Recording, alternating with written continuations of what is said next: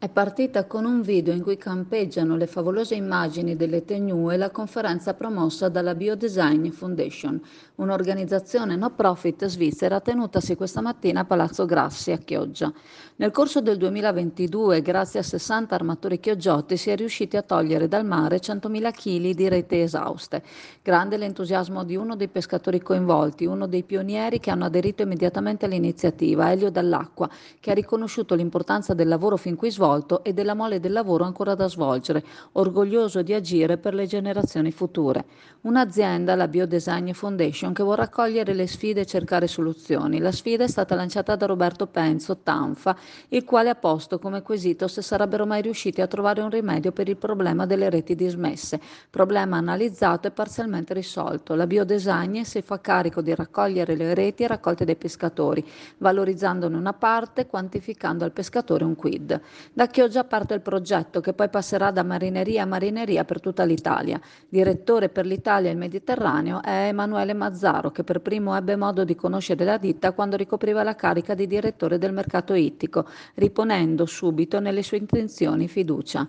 Roberto Guerini, presidente della Biodesign, si è detto fiero che il progetto sia partito proprio dalla nostra città, proprio per l'importanza che qua il mare riveste e per il numero delle imbarcazioni che potrebbero essere coinvolte. Si tratta di un inizio di un progetto grazie al quale i pescatori non ne usciranno demonizzati, ma ancora una volta custodi del mare. Fa un appello Elio Dall'Acqua a tutti i pescatori d'Italia che potrebbero essere coinvolti nel progetto di unirsi allo stesso e di non gettare più le reti in mare.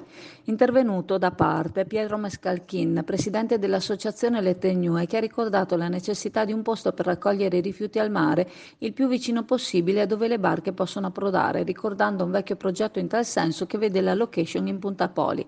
Ha ricordato segnalato inoltre l'ingombrante presenza nella zona SIC di retini per i mitili che nell'area delle tegnue vengono buttati senza ritegno, in modo che non giungano poi a terra trattenuti qua dalle correnti. Recuperare le reti non sarà facile e non sarà economico. Molte reti sono diventate substrato in cui proliferano fauna e flora marine, ma tante hanno un'anima in ferro che si trasforma in ruggine che entra nella catena alimentare.